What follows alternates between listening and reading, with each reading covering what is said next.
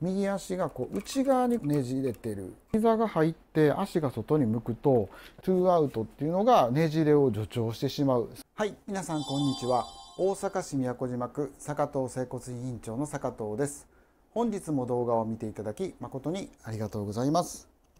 本日も皆様の健康のお役に立てるような情報を発信していきたいと思いますのでよかったら最後までご覧ください。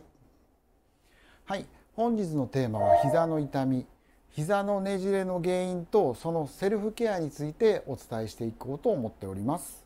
よかったら最後までご覧ください。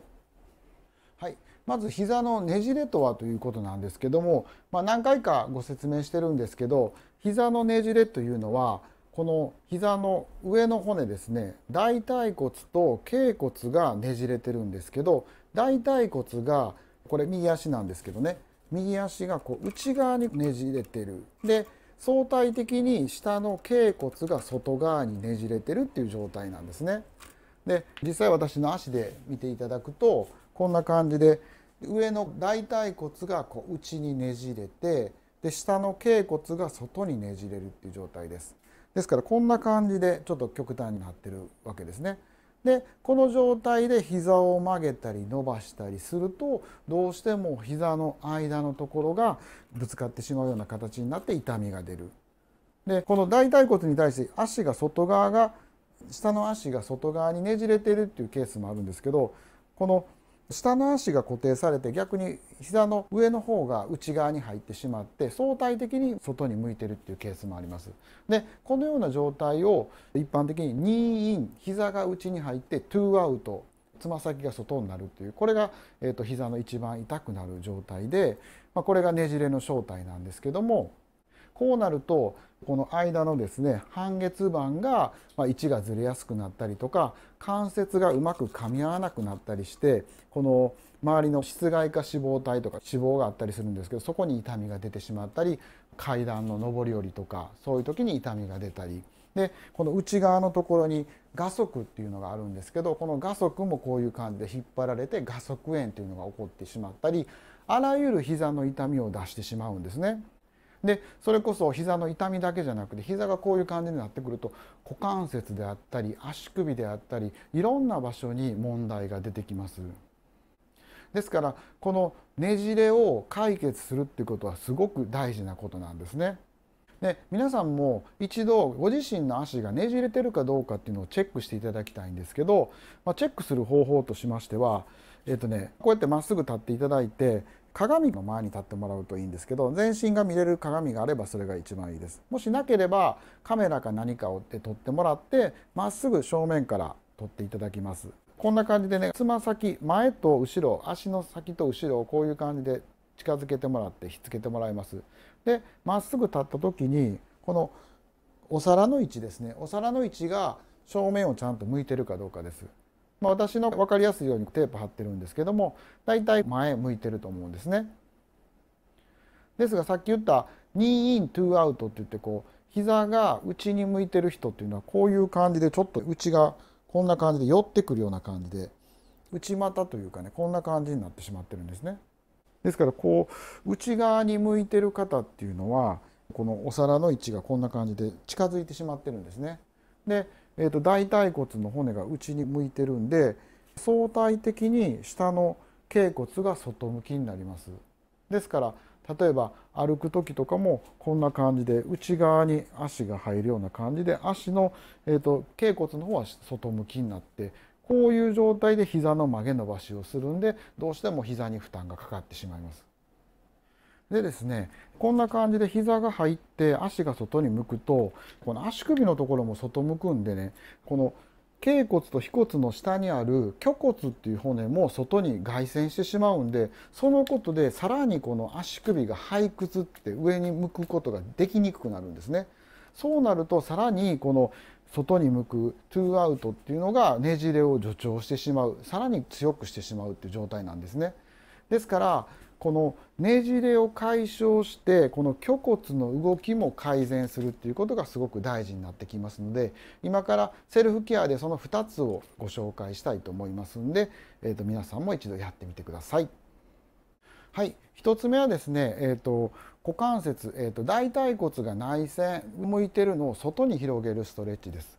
まあ、よく一般的に言われるこういう感じでね足を開脚して広げていくんですけど何にもない状態でこれをやろうと思うと膝が痛い方だとすごく大変だと思うんで、まあ、今回こんな感じで椅子に座ってもらって構いませんので椅子にこう座るんですけどちょっと浅めにかけてでポイントとしては骨盤がこういう後ろに倒れるんじゃなくてこう前に入れてほしいんですね。前に倒すような感じ。横から見るとこういう感じではなくてこういう感じで腰を入れるような感じですね。でこういう状態にして股関節を開いて手は膝の内側に当てるような感じでぐーっと押さえるような感じです。で全体的にこうこう曲げるんではなくて胸を張ってこういう感じで前に押し出すような感じで肩をこういう感じで右と左と入れていくんでこれを10秒を3回ずつやっていきます。じゃあ1回やってみますね。はい。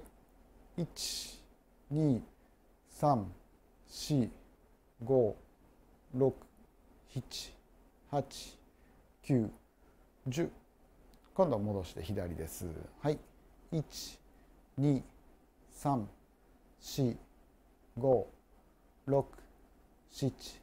8、9、10戻して今度右です。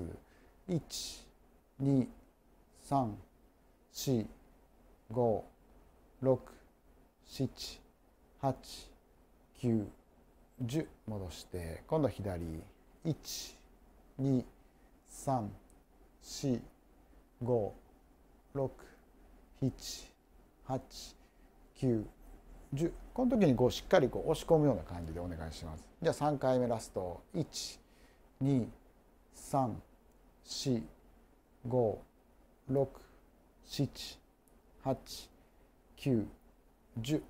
で左。3、4、5、6、7、8、9、10はい OK です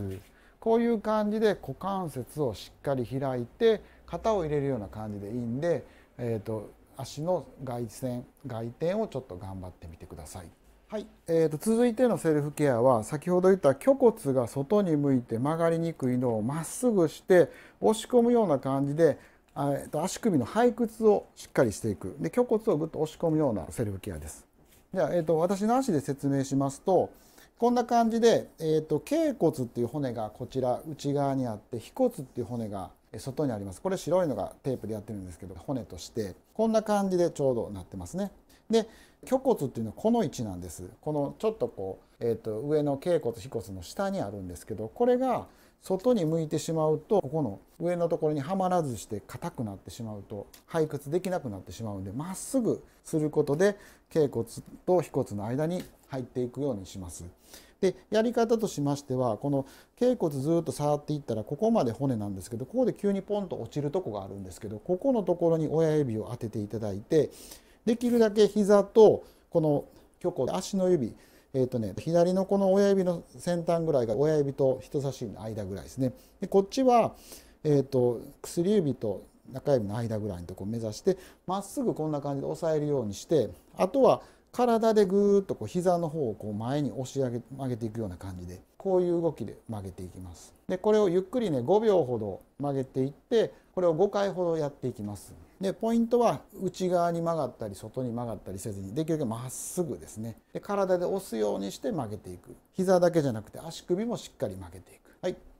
12345この時に指をぐっと当てとくとだんだん押し込むような感じで押せますんで。はい。じゃあ2回目。1 12345で3回目こっち向きでいきますね。はい。12345 4回目。12345でラストまっすぐ向いて。はい。12345はい。こんな感じでまっすぐこう行く。まっすぐこう動かすっていう意識をしてください。そうすることでこの虚骨がしっかりこの足首の奥の方に入っていくような感じになるんで足首自体がねすごく動かしやすくなると思います。足首が動きやすくなって上の大腿骨がこう外にも開くようになるとまっすぐに足が動かせるようになってきますんで膝のねじれが解消してくると思いますので皆さん一度やってみてもらったらなと思います。はいいかがだったでしょうか？今回は膝の痛みを解消するための、まあ、膝のねじれを改善するためのストレッチを2つほどお伝えさせていただきました。膝の痛みの原因のほとんどはこの膝のねじれが関係していると言われています。なので膝が痛い方は是非この皆さんにお伝えしたセルフケアをやっていただけたらなと思っております。ただしこのようなセルフケアをやってみてもなかなか膝の痛みが改善しないとか痛みがまだ残ってるっていう方はお近くの治療院とか整形外科に相談してもらえたらなと思ってます。もちろん当院でも膝の治療をやっておりますのでもしお近くの方で相談したいなという方がいらっしゃいましたらご予約の方していただけたらなと思っております。はい本日の動画は以上となります。本日の動画を見て良かったな面白かったなと思っていただいた方は是非高評価やチャンネル登録の方よろしくお願いいたします。本日も最後まで動画を見ていただき誠にありがとうございました。それではまた次回の動画でお会いしましょう。さよう。